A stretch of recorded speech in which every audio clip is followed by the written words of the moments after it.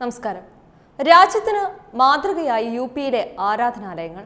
സർക്കാരിന്റെ അനുമതിയോടുകൂടി എല്ലാവർക്കും അവരുടേതായ ആരാധന രീതി പിന്തുടരാമെന്നും മറ്റുള്ളവർക്ക് ബുദ്ധിമുട്ടുണ്ടാകുന്ന തരത്തിൽ ആകരുതെന്നും കഴിഞ്ഞയാഴ്ച ഉത്തർപ്രദേശ് മുഖ്യമന്ത്രി യോഗി ആദിത്യനാഥ് പറഞ്ഞിരുന്നു.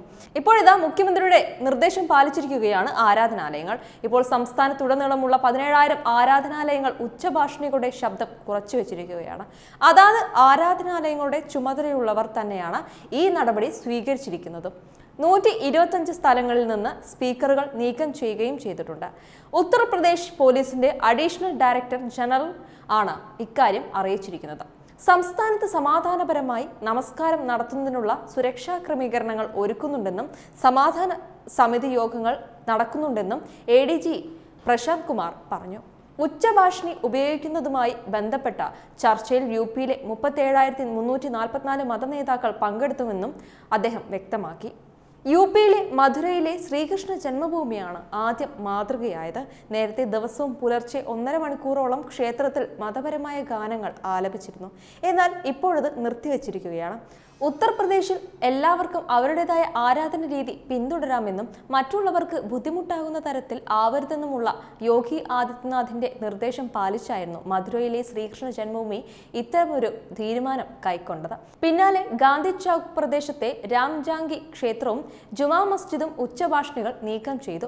നിലവിൽ അനുവദിച്ചിട്ടുള്ള ശബ്ദപരിധി ലംഘിക്കുന്ന ഉച്ചഭാഷണികളും നീക്കം ചെയ്യുമെന്നും സർക്കാർ വൃത്തങ്ങൾ അറിയിച്ചിട്ടുണ്ട്. ഇത്തരത്തിലുള്ള എല്ലാ ഉച്ചഭാഷണികൾ സ്ഥാപിച്ചിരിക്കുന്ന ആരാധനാലയങ്ങളുടെ കണക്ക് ഈ മാസം മുപ്പതിനകം തന്നെ ആഭ്യന്തര വകുപ്പിനെ അറിയിക്കാൻ സംസ്ഥാനത്തെ എല്ലാ പോലീസ് സ്റ്റേഷനുകൾക്കും നിർദ്ദേശം നൽകിയിട്ടുണ്ട്.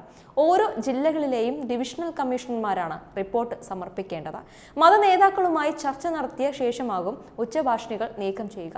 സർക്കാർ അനുവാദത്തോടെ മാത്രമേ ആരാധനാലയങ്ങളിൽ ഉച്ചഭാഷണി ഉപയോഗിക്കാൻ പാടുള്ളൂ എന്നും നിർദ്ദേശിച്ചിരിക്കുന്ന പരിധിക്കപ്പുറമുള്ള ശബ്ദം പാടില്ലെന്നും കഴിഞ്ഞ ദിവസം യോഗി ആദിത്യനാഥ് പ്രഖ്യാപിച്ചിരുന്നു. ഈ പ്രഖ്യാപനത്തിന്റെ പശ്ചാത്തലത്തിലാണ് ഉത്തരവ് പുറപ്പെട്ടു വന്നിരിക്കുന്നത്. മതിയായ അനുമതിയില്ലാതെ സംസ്ഥാനത്ത് മതപരമായ ഘോഷയാത്രകളും മാർച്ചുകളും അനുവദിക്കരുതെന്ന് ഒരാഴ്ച മുമ്പ് യു മുഖ്യമന്ത്രി യോഗി ആദിത്യനാഥ് ഉത്തരവിട്ടിരുന്നു. അധികൃതരുടെ അനുവാദമില്ലാതെ മതപരമായ ഘോഷയാത്രകൾ നടത്തരുതെന്ന് ഉച്ചഭാഷയുടെ ഉപയോഗം മറ്റുള്ളവർക്ക് അസൗകര്യം ഉണ്ടാക്കരുതെന്നുമായിരുന്നു ഉത്തർപ്രദേശ് മുഖ്യമന്ത്രി യോഗി ആദിത്യനാഥിന്റെ നിർദ്ദേശം.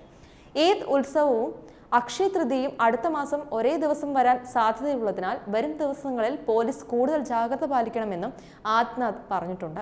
രാജ്യത്തെ വിവിധ സംസ്ഥാനങ്ങളിൽ നടക്കുന്ന അക്രമ സംഭവങ്ങളുടെ പശ്ചാത്തലത്തിലാണ് ഉത്തർപ്രദേശിൽ മുൻകരുതൽ സ്വീകരിക്കുന്നത്. ഓരോരുത്തർക്കും അവരവരുടെ മതപരമായ പ്രത്യയശാസ്ത്രമനുസരിച്ച് ആരാധന രീതി പിന്തുടരാനും സ്വാതന്ത്ര്യമുണ്ടെന്നും മുഖ്യമന്ത്രി പറഞ്ഞു.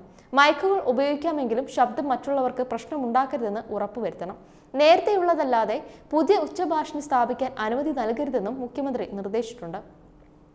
അനുവാദമില്ലാതെ മതപരമായ ഘോഷയാത്ര നടത്തരുത്. അനുമതി നൽകുന്നതിന് മുമ്പ് സമാധാനവും സൗഹൃദവും നിലനിർത്തുന്നത് സംബന്ധിച്ച് സംഘാടകരിൽ നിന്ന് സത്യവാങ്മൂലം വാങ്ങണം.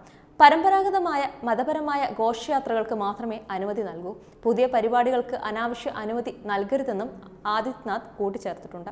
ദില്ലി മധ്യപ്രദേശ് കർണാടക ഗുജറാത്ത് അടക്കമുള്ള സംസ്ഥാനങ്ങളിൽ മതാചാരവുമായി ബന്ധപ്പെട്ട ഘോഷയാത്രകൾക്കിടെ സംഘർഷമുണ്ടായിരുന്നു. പ്രത്യേക സാഹചര്യം കണക്കിലെടുത്ത് പോലീസ് ഉദ്യോഗസ്ഥരുടെയും മറ്റ് ഉദ്യോഗസ്ഥരുടെയും അവധികൾ മെയ് നാല് വരെ സർക്കാർ റദ്ദാക്കിയിട്ടുണ്ട്. നിലവിൽ അവധിയുള്ളവരോട് ഇരുപത്തിനാല് മണിക്കൂറിനുള്ളിൽ റിപ്പോർട്ട് ചെയ്യാനും ആവശ്യപ്പെട്ടിട്ടുണ്ട്. ഒപ്പം മതനേതാക്കളോട് ചർച്ചകൾ നടത്തണമെന്നും പോലീസ് നിർദ്ദേശമുണ്ട്. Web desk news.